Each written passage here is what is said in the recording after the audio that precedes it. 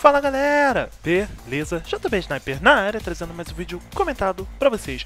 E hoje, galera, eu tô trazendo uma análise da nova Sniper que veio na DLC Second Assault, galera, a Go Magnum. Ela é uma sniper muito boa, galera, mas assim como todas as outras, não é ótima para todas as situações. Você precisa ter a DLC Second Assault para poder ter acesso a essa sniper. E como de costume, nesse vídeo eu vou falar de todas as situações que são aconselháveis para você utilizar ela e as situações que não são aconselháveis utilizar ela. Então, vamos embora pro vídeo. Bom galera, eu vou começar falando do maior problema dessa arma, que é o uso do Straight Pull Bolt ou ação linear, se o seu jogo tiver em português, com a mira 40x ou 20x. O grande problema, galera, é que quando você vai repor o tiro, ele dá um tranco incrivelmente alto, galera, o que impossibilita você de ver onde a bala vai cair. Isso se você estiver usando a mira 20x ou 40x. Como vocês podem ver nesses tiros, galera, o tranco é incrivelmente alto, então você não consegue ver onde o tiro caiu.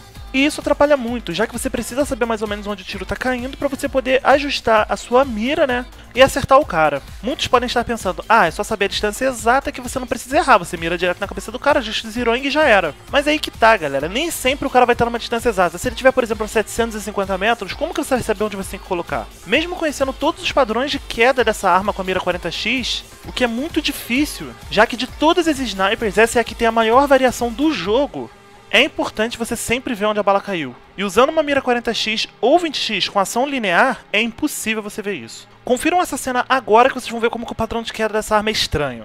O meu amigo Kozart me ajudou a gravar essa cena. Ele estava a 1 km e olha onde eu coloquei a mira para acertar ele. Ajustando o Zerong para 1000, o certo era eu colocar diretamente na cabeça dele. Mas eu tive que colocar na primeira linha de cima. Isso porque o padrão dessa arma é o mais complexo que tem de todas as outras armas do jogo. Já nessa cena agora, o Zerong está ajustado para 1000, eu estou colocando diretamente na cabeça dele, sendo que ele não estava a 1 km, ele estava a 1 km 120, galera. Ou seja, o primeiro conselho, galera, não utilize essa arma para long range de jeito nenhum, porque não rola. Então agora vamos falar das situações que eu aconselho utilizar essa arma. Simples, curta e média distância, mas não tão média assim. Para alguns, até 600 metros, 700 metros ainda é considerado média distância, mas eu não aconselho para essa distância, galera. Eu aconselho usar essa arma apenas para curta distância, ou seja, até 150 metros, e média distância que eu digo é de 300, 400 metros no máximo.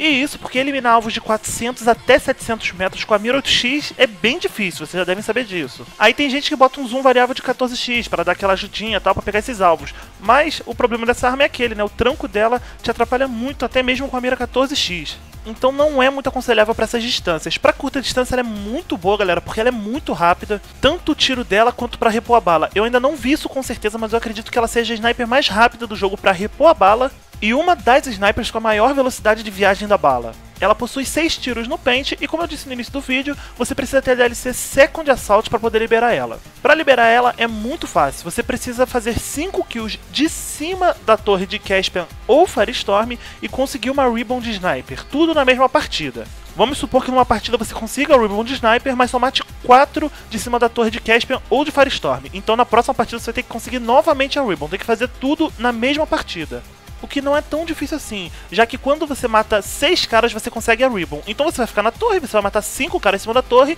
e só vai precisar matar mais um de qualquer lugar do mapa para liberar. E uma outra coisa que eu percebi que ela é muito ruim, galera, é por hipfire. Para quem não sabe o que é hipfire, é você atirar sem mirar. Alguns chamam de no scope, que nem esse tiro que eu acabei de dar aí agora. Várias vezes eu já tive um cara próximo a mim, tipo a menos de 2 metros de mim, dava um scope nele, ele na minha frente colado comigo e errava o tiro. Então eu aconselho vocês a colocarem um laser nela caso vocês forem jogar de curta distância para dar uma melhoradinha nesse hipfire dela. Eu até diria para vocês, galera, que vocês poderiam substituir ela pela L96, porque ela é bem parecida com a L96, até o jeito de repor a bala e recarregar ela é igual ao da L96. Mas se for para média distância, eu ainda continuo preferindo a L96, galera. Para curta distância, beleza, ela é melhor, sem dúvidas ela é melhor do que a L96, mas para média distância, L96 vai ser sempre a minha favorita. Sendo Sendo que anteriormente eu também já fiz uma análise da FYJS e ainda acho que para curta distância a FYJS é melhor.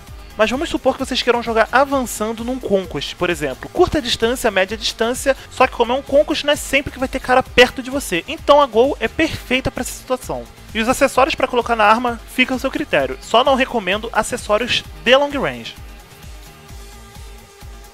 Então é isso, galera. Muito obrigado a todos vocês que assistiram esse vídeo. Espero que vocês tenham curtido, que ele tenha sido informativo e que eu possa ajudar vocês de alguma maneira com esse vídeo. Se você curtiu, dá um like, favorito, comenta, o que você quiser fazer aí pra dar aquela força, vai ajudar muito mesmo. Vocês não têm noção do quanto isso ajuda, galera. Caso vocês queiram alugar um servidor pro seu clã, um servidor de TS, servidor de qualquer jogo aí, dá uma olhada nos preços da Game Service, sem dúvida a melhor empresa de alugar de servidores do mercado, com os melhores preços, melhores servidores, sem dúvida alguma. Curtam também Battlefield da Depressão, uma página de humor e informação, tudo sobre Battlefield você vai encontrar lá, uma página muito boa mesmo. Ambos os links estão na descrição desse vídeo. Então é isso, galera. Vou ficando por aqui com mais um vídeo. Aquele abraço.